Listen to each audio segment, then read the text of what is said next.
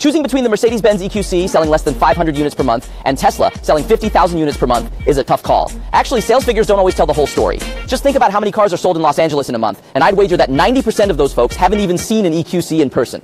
As a two-time Mercedes owner, it's disheartening to see a century-old automaker struggling to compete with Tesla. Let's start by comparing their exteriors.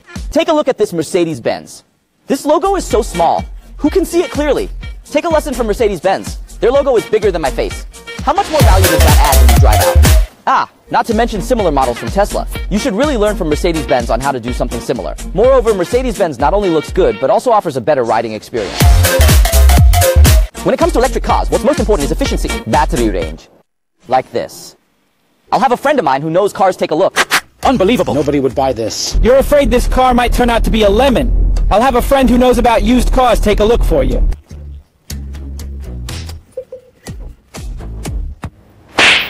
In your hands, there are more than 40 units. You're smiling while saying it. Isn't this Mercedes-Benz logo great? If you truly like this car, you can contact me. Because the competition fee for our car is even more expensive, as their manufacturer cannot offer direct discounts. They can only offer sponsorship to Hold on a moment, don't rush. You can really contact me.